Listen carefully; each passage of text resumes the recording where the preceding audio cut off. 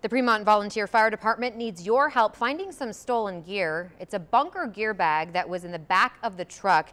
It's easy to identify because it has a Premont Volunteer Fire Department logo on the inside, or on the side, excuse me. And then inside it, a black helmet, black fire boots, and heavy duty fire gloves like you see here. If you find them or know where they are, just return them to the Premont Fire Department.